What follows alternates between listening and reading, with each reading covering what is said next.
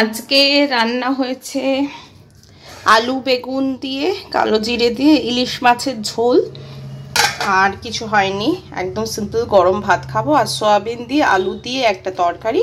আর ব্রেকফাস্টের জন্য আর এখানে হয়েছে দাঁড়ান আর এখানে হয়েছে লুচি। আর ভাত আছে, এখানে দুধ আছে। তো আপাতত লুচি তরকারি খেয়ে আমি কোটে যাচ্ছি। বাইরে একটা বাজে গুমোট গরম, একটা মেঘ মেঘ করে রয়েছে। সকাল থেকে রোদ উঠেছিল, এখন হঠাৎ একটা মেঘ করে এসছে, আর কিরম একটা গরম ব্যবসা বাবা ভাদ্র মাস মানে অস্বস্তি হচ্ছে আর ফ্যানের তলে বসে থাকলেও তবু ঠিক আছে কাজ করতে গেলে পুরো দরদরিয়ে ঘামতে হচ্ছে। এই হচ্ছে আমার ব্রেকফাস্ট আমি বেড়ে নিয়ে এসেছি আগে আমি খাচ্ছি স্থিত বাথরুমে আছে তারপরে ও খাওয়াবে। বাট আজকে না এই তরকারিতে একটুখানি কসুরি মেথি দিয়েছি তার জন্য একটা সুন্দর স্মেল আর একটু অন্যরকম মানে গন্ধ আসছে বেশ খেতেও ভালো হবে নিশ্চয়ই। হ্যালো গুড মর্নিং আজকে বুধবার না? না বার? আজকে মঙ্গলবার আর আজকে সকালবেলা রেডি টেডি হয়ে আমরা চলেছি কোর্টের পথে। এখন বাজে হচ্ছে নটা পঞ্চাশ আর দশটা কুড়িতে আমার বাস বাবাই তারপরে যাবে।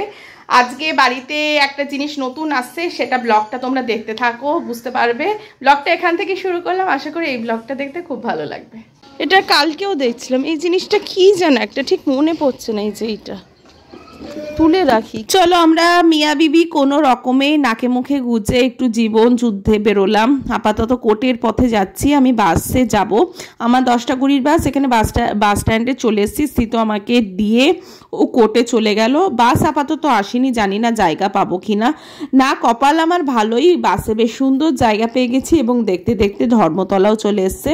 কোর্টে এসে একটু দেরি হয়ে গেছিল তার জন্য তাড়াতাড়ি করে ছুটলাম মানে কাজের জন্য। আপাতত একটুখানি কাজ ফাজ করেই আমাকে বেরোতে হয় একটু তাড়াতাড়ি কারণ মুহু তাড়াতাড়ি চলে আসে। আর বাবাই আমাকে নিতে চলেও এসছে।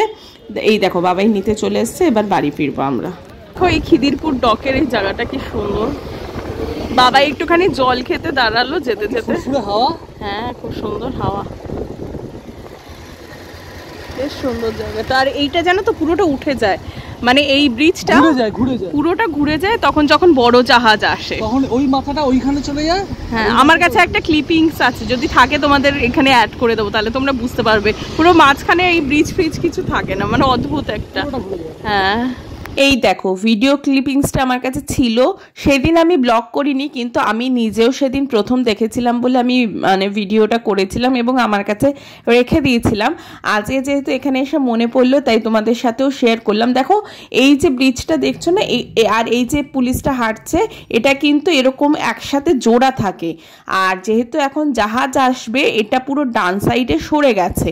আদারওয়াইজ কিন্তু আমরা এখান দিয়েই রোজ দিন মানে ফোর হুইলার টু হুইলার সব যাতায়াত করি। আর দেখো যে দেখবে মানে প্রথম দেখবে সে তো বুঝতেই পারবে না এটা এরকম ব্রিজ এটা এরকম জোড়া থাকে। এই দেখো এরকমভাবে এরকম গেটটা ফেলে দিয়েছিল মানে এই সবাইকে আটকানোর জন্য না হলে পারাপার করবে। মানে সেই ব্রিটিশ আমলের জিনিস বাট কত সুন্দর সিস্টেমেটিক চলো বাড়িতে এসে গেছি।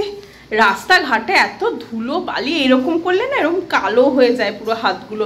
এত পলিউশন রাস্তায় পুরো চোখগুলো বা কথা বলতে বলতে বাইকে গেলে মুখে না মনে হয় যেন বালি ঢুকে গেছে এরকম অবস্থা।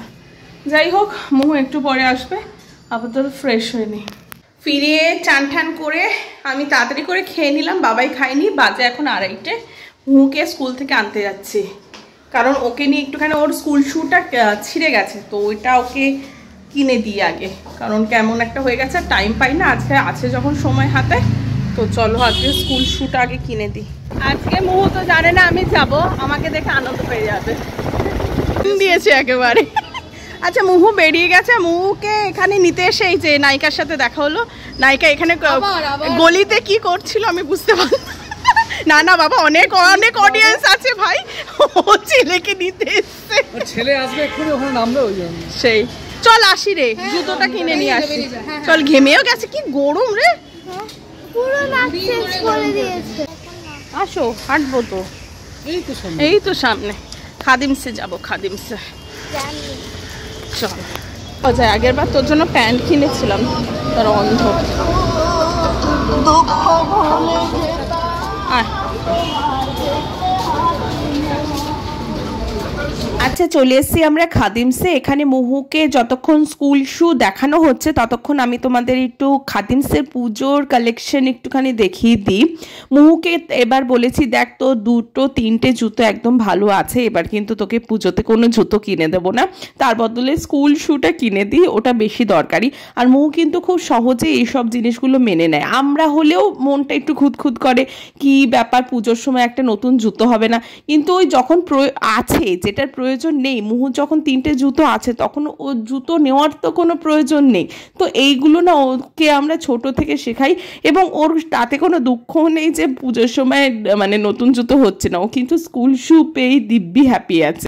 জুতো ফুতো কেনা হয়ে গেছে মুহু আজকে ভীষণ টায়ার্ড সেই সকাল ভোর মানে সাতটায় বেরোয়, তারপরে এই প্র্যাকটিস ফ্র্যাকটিস করে দেখো মুখটা শুকিয়ে গেছে এই গরমে। আমার ছোট বেবি চলো, বাড়ি গিয়ে ঘুমো। মানে খেয়ে দিয়ে চান করে। আসা যাওয়ার পথে এই শিব মন্দিরটা যখনই আমি দেখতে পাই প্রণাম করি আর এত সুন্দর একটা ধূপের গন্ধ বেরোচ্ছিল না বেশ ভালো লাগল। তাই তোমাদের সাথে একটুখানি শেয়ার করে দিলাম। আমি আর মুহূর্ত ওপরে শুয়েছিলাম স্কুল থেকে এসে। এর মধ্যে আমাদের বাড়িতে একটা নতুন জিনিস চলে এসছে সেটা হলো কি? তেতাল্লিশ ইঞ্চি টিভি এলজির আমাদের নতুন টিভি এসে গেছে বেশ আনন্দ আমাদের। আমাদের এমআই এর টিভিটা ছিল কিন্তু টিভিটা ঠিক ও নিয়ে গেছে না? আচ্ছা এই টিভিটা আমাদের মানে বারবারই একটু ব্যথা দিচ্ছে ভোগাচ্ছে। আর কোনোদিন এমআই সময় কিনবো না। সব চাইনিজ মাল চাইনিজ প্রোডাক্ট জঘন্য। অ্যাটলিস্ট সনি আমার চোদ্দ পনেরো বছর করে টিকতো। সনি তো অবশ্যই কোথায়? সনি কোথায় Sony TV টা বলো পনেরো কুড়ি বছর টিকলো। হ্যাঁ কোথায় এমআই? এমআই আমার তিন বছরের মধ্যে যাই হোক ভোগাচ্ছে খরচা তো মানে কমছেই না উল্টে খরচা বেড়ে হ্যাঁ। গেল। মানে একটা তেতাল্লিশ ইঞ্চির এলজির টিভি কত দাম হয় তোমরা সবাই জানো। বেশি না। ওটার দাম হচ্ছে বিয়াল্লিশ আর তোমার এক্সটেন্ডেড বিয়াল্লিশ তো তোমাকে ইয়ে এখন অফারে ছিল তাই বাহান্ন তো দাম। বিয়াল্লিশে পেলাম আর তার সঙ্গে তোমার তিন বছর এক্সটেন্ডেড ওয়ারেন্টি ওটা সিক্স থাউজেন্ড এইট হান্ড্রেড মানে সাত হাজার। মানে উনপঞ্চাশ হাজার টোটাল কমপ্লিট পাঁচ বছর নিশ্চিন্ত। পঞ্চাশ হাজার টাকা কম এই সময়। পাঁচ বছর? ওয়ারেন্টি? দু বছর টিভি তিন বছর এক্সটেন্ডেড এই বছর আমাদের এত খরচা হচ্ছে সেই আমাদের টিভিটা কিন্তু খরচার মধ্যে কোনো প্ল্যানই ছিল না। হঠাৎ দেখলাম টিভিটা মাঝে একবার ছ মাস আগে খারাপ হয়েছিল তখন ব্লগে তোমাদের বলেছিলাম।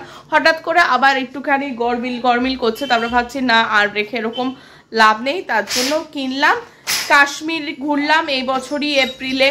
তারপরে তোমার সিকিম গেলাম তারপরে এই টিভি তাছাড়া আনুষাঙ্গিক খরচা তো বাদই দাও। মানে কত যে এবছর আমাদের তিন চার মাসের মধ্যে অন্তত এত টাকা খরচা মানে এত হিউজ একটা অ্যামাউন্ট চলে গেল।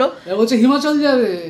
না না হিমাচল আর কি করে যাব? সে তো ও ট্রেকিং এ যাচ্ছে হ্যাঁ, আমি ট্রেকিং এ ডিসেম্বর হ্যাঁ ও বিন্দাস লাইফ চিন্তাফু। না ঠিক আছে ওইগুলো তো অতটা ইয়ে না। ওটা আমার বারো থেকে পনেরো হাজার কমপ্লিট নেপালে টুকটাক ওই ঘোড়াগুলো তো আমরা ঘুরি কিন্তু এই যেমন কাশ্মীর এক লাখ কুড়ি এক লাখ পঁয়ত্রিশ হ্যাঁ তারপরে আবার নাথুলাতে গেল আমার আশি মতো। নব্বই মতো গেল। হ্যাঁ তারপরে এই টিভি ধরো পঞ্চাশ তাহলে এইগুলো কোথার থেকে বাবারে খুব একটা এই বছরটা আমাদের প্রচুর খরচা গেল। সামনে পুজো।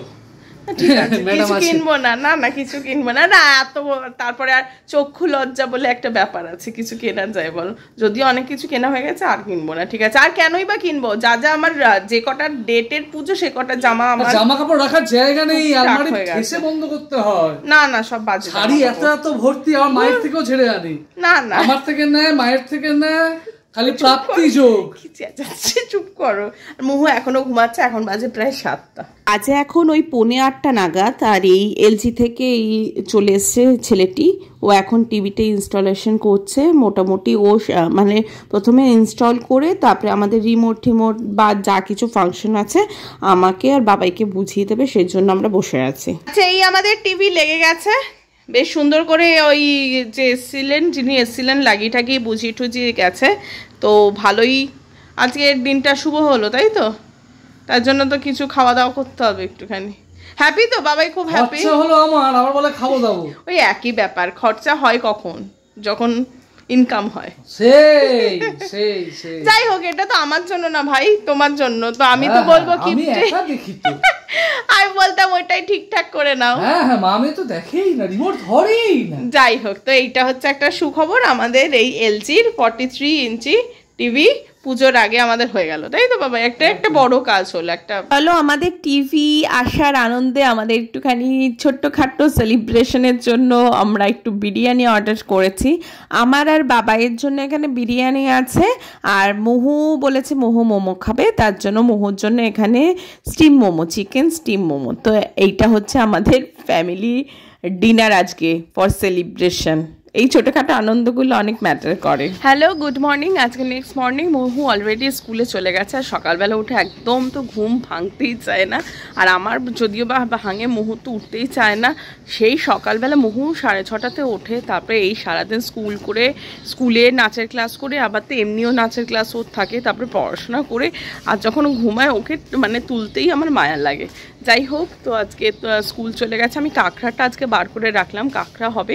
দিদি এলো বলে, তো আমি নিচে গিয়ে যদি পারি কাঁকড়ার রেসিপিটা আমি নিজে শিখব, তোমাদের সাথেও শেয়ার করব। আজকে আমি করব না, আজকে রান্নাটা পুরোটা শিখব আর নেক্সট কোনো দিন বাবাই যদি আবার আনে, তাহলে তোমাদের আমি নিজে সেদিন করব, এটাই প্ল্যান করেছি। আবার তো তো ছাদে একটুখানি ঘুরু ঘুরু করছি, নিচে যাই। আজকে দিদি কাঁকড়াটা করল, কিন্তু আমি কাঁকড়া করার ভিডিওটা করতেই ভুলে গেলাম।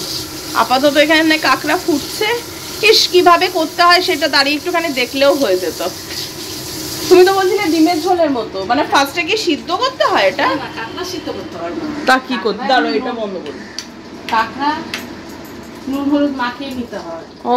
ডিমটা সেদ্ধ করে নিতে হয়। এবার ঝোলটা বলছি আলুটা ওই পেঁয়াজ আদা রসুন বাটা যেটা মাংসের মতো কষিয়ে এগুলো দিয়ে ভালো করে কষিয়ে তারপরে জল দিতে হয় তাই তো?